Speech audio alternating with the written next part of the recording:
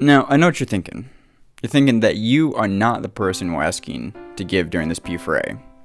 You know, I think most of us think, yeah, sure, they asked me to give, I never give, but I watch the videos, and you know, the charity is still there next year, saying they saved lives and need money. But as you consider the fact whether you are or are not the person we're asking right now to part ways with that $1, I want to encourage you to reflect on what a charity is supposed to be all about. I think collectively we all believe in charity. We're American. We want to help others. But if you're like me, sometimes you're not sure how, because, you know, there's that couple at the park with the clipboard talking about rice, and the guy missing teeth on the street saying God bless, and they ask you to round up at Panda Express, but you're not really sure where the money is going, so you just kind of give up. You want to help, but you just don't want to waste your money.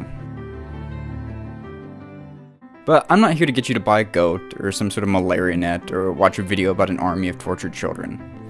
I'm just here to tell you to give $1. That's all. Just give money directly. Now you're thinking, just give money away? They say never to do that. Yeah, but they're probably wrong. There's this entire organization designed out of charities. And you know what they found to be one of the most effective charities? This one.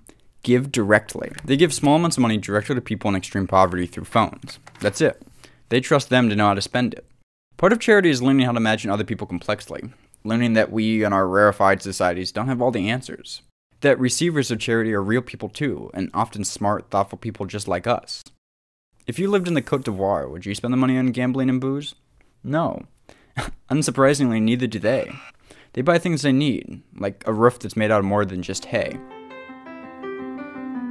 The first person I ever got to elect once said, Our values call upon us to care about the lives of people we will never meet. This is a way of showing that care, by trusting them.